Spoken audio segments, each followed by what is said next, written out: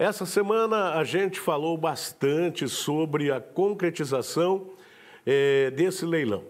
E o que a gente pergunta é: será que o preço pelo qual a estradinha foi arrematada é o preço justo? Será que ela tem preço? Veja aí.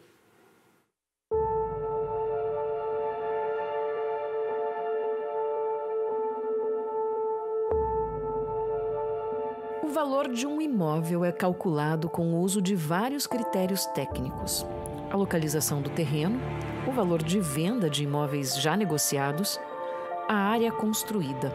São muitos os fatores.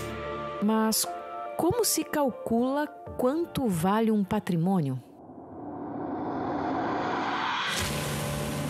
Como dar preço aos momentos vividos naquele lugar e aos momentos que sonhávamos viver?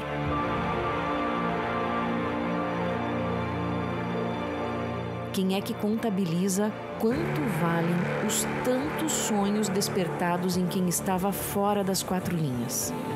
Dos tantos meninos que desejaram um dia marcar um gol vestindo aquela camisa, na presença da cidade onde nasceu, naquele mesmo lugar. E quanto valem os sonhos que ainda iriam nascer?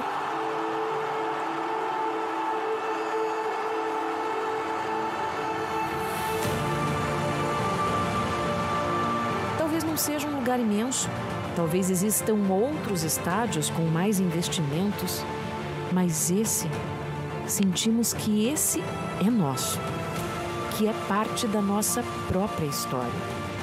É parte da nossa história a cultura de ir gritar pelo time de coração levando o filho e a lembrança das idas à estradinha na companhia dos amigos e do pai. Talvez até mesmo do pai que já não está mais aqui. E o neto dos nossos pais? Não terão essa oportunidade? Essa história não será contada para as futuras gerações enquanto estivermos sentados nessas arquibancadas? Quem calcula quanto se perde na derrubada de um lugar desses? A casa da gente às vezes tem um valor especial. A casa de um time também tem. Tem esse algo que vai além do dinheiro. E a estradinha? A estradinha tem esse apelido carinhoso, tem a cor desse sentimento tão intenso que já nos uniu tantas e tantas vezes que já proporcionou gritos, pulos e abraços. O Nelson Medrado Dias tem a pipoca do Vitor, tem o sorvete, oásis, o pacotinho que às vezes vai com refrigerante e volta indevidamente com o que não devia voltar. Mas, acima de tudo, tem todas as nossas histórias e aquela proximidade que a gente não encontra nesses estádios pelo Brasil afora. Aqui, a gente tem o torcedor que grita com todas as forças ali, pertinho, atrás do gol adversário. Tem nossos sofrimentos, sim, nossas derrotas, tem nossos quase campeão, mas tem também as muitas e muitas alegrias.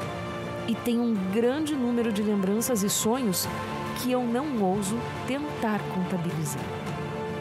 Agora, o que me pergunto mesmo é: quanto tudo isso vale? E quanto esses quase 100 anos de tudo isso vale? Há quem se atreva a colocar esse valor em reais?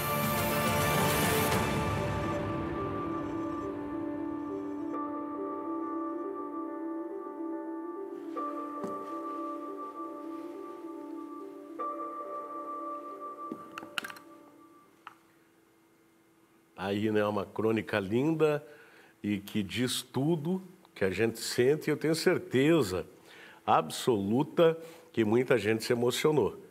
Porque eu tenho conversado com pessoas, o que eu quero dizer lá do que eu falei do começo, é que é um, um passo, é o sentimento. Você sentir e ficar triste. O segundo passo é você tomar uma iniciativa. E eu repito aqui, ninguém está falando em violência. Vamos quebrar tudo, vamos arrebentar tudo. Não. Não é isso que a gente está falando aqui. Mas, olha aí, ó, uh, as imagens, tudo que aconteceu nesse estádio ao longo dos quase 100 anos do estádio 110 do Rio Branco. É o terceiro clube mais antigo do Paraná entre os três.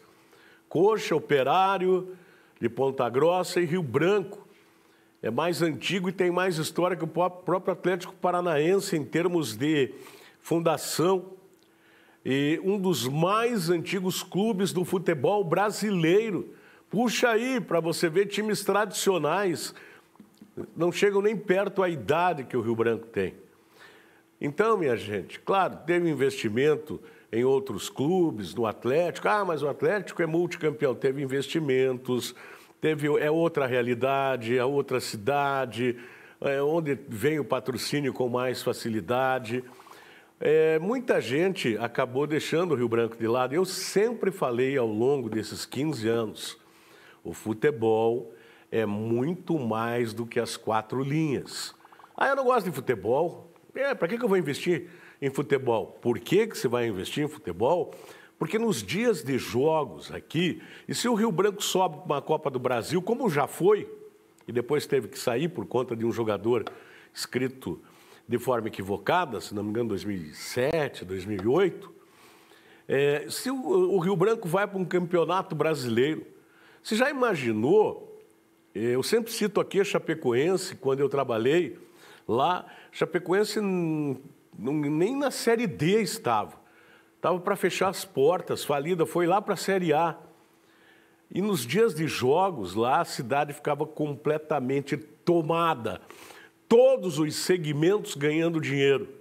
Era isso que eu sonhava aqui para a cidade de Paranaguá, o Rio Branco subindo, subindo, né, Série D, depois vendo, vendo, vendo B, por que não? Né? E aí a nossa cidade aqui, por isso que eu digo, o futebol é muito mais do que isso. O futebol, a Diana contou bem na crônica, você envolve família, você envolve criança, você envolve esporte. Eu não sei se a partir de agora isso vai ter uma sequência, o torcedor tem o sentimento. Vamos aguardar. Eu vejo com muita tristeza tudo isso, continuo vendo com muita tristeza, mas a gente precisa tomar iniciativa. Vamos ver, vamos acompanhar.